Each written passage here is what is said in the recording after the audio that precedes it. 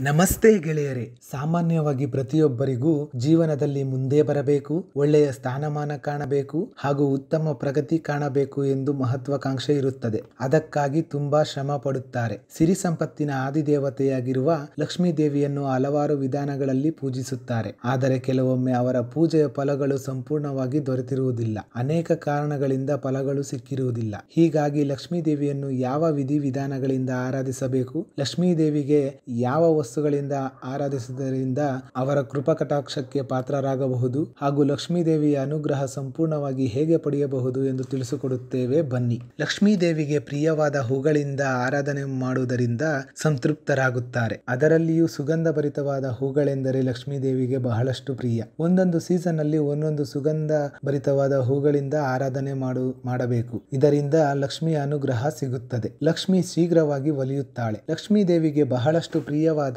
ಕುಂಕುಮದಿಂದ ಅರ್ಚನೆ ಮಾಡುವುದರಿಂದ ಬಹಳಷ್ಟು ಫಲಗಳು ದೊರೆಯುತ್ತವೆ. ಕುಂಕುಮಗಳಲ್ಲಿ ಹಲವಾರು ವಿಧಗಳಿವೆ. ಲಕ್ಷ್ಮಿಗೆ ಪ್ರಿಯವಾದ ಚಂದನದಿಂದ ಕೂಡಿದ ಕೇಸರಿ ಬಣ್ಣದ ಕುಂಕುಮದಿಂದ ಪ್ರತಿನಿತ್ಯ ಕುಂಕುಮಾರ್ಚನೆಯನ್ನು ಮಾಡುತ್ತಾ, ಅಷ್ಟೋತ್ತರಗಳ ಪಠನೆಯನ್ನು ಮಾಡುವುದರಿಂದ ನಿಮ್ಮ ಇಷ್ಟಾರ್ಥಗಳು ಶೀಘ್ರವಾಗಿ ನೆರವೇರುತ್ತವೆ. ಹಾಗೂ ಲಕ್ಷ್ಮೀ ದೇವಿಗೆ ಕೊಬ್ಬರಿ ಎಣ್ಣೆಯಿಂದ ದೀಪಾರಾಧನೆ ಮಾಡುವುದರಿಂದ ಬಹಳಷ್ಟು ಶುಭಕರ. ಹಾಗೂ ಮನೆಯಲ್ಲಿ ಶುಭ ಕಾರ್ಯಗಳು ಮತ್ತು ನೀವು ಕೈಗೊಂಡ ಕಾರ್ಯಗಳು ಯಾವುದೇ ಅಡೆತಡೆ ಇಲ್ಲದೆ ನೆರವೇರುತ್ತದೆ. ಲಕ್ಷ್ಮೀ ದೇವಿಗೆ ಪ್ರಿಯವಾದ ಸಿಹಿ ಪದಾರ್ಥದಿಂದ ನೈವೇದ್ಯ ಮಾಡಬೇಕು. ಅಲ್ಲಿಯೂ ಪ್ರತಿನಿತ್ಯ ಆನೆ ಸೊಂಡಲಿನ ಪ್ರತಿಮೆಯಿಂದ ಕೂಡಿದ ದೀಪದಿಂದ ಕೊಬ್ಬರಿ ಎಣ್ಣೆ ದೀಪ ಬೆಳಗಿ ಓಂ ಶ್ರೀ ಈ ಮಂತ್ರವನ್ನು ನೂರ ಎಂಟು ಬಾರಿ ಪಠಣೆ ಮಾಡುವುದರಿಂದ ಶೀಘ್ರವಾಗಿ ಉತ್ತಮ ಫಲಗಳು ದೊರೆಯುತ್ತವೆ. ಲಕ್ಷ್ಮೀದೇವಿಗೆ ಬಹಳಷ್ಟು ಪ್ರಿಯವಾದ ಅಂಗಾರ ಗಂಧವನ್ನು ಸಮರ್ಪಿಸಬೇಕು. ಪ್ರತಿನಿತ್ಯ ನೀವು ಹಚ್ಚಿಕೊಂಡು ಲಕ್ಷ್ಮೀದೇವಿಗೆ ಆರಾಧನೆ ಮಾಡಬೇಕು. ಈ ಗಂಧವನ್ನು ಬಾಳೆಹಣ್ಣು ಹಾಗೂ ತಾವರೆ ಹೂವಿನಿಂದ ಮಾಡಿರುವುದರಿಂದ ಬಹಳಷ್ಟು ಶ್ರೇಯಸ್ಕರ.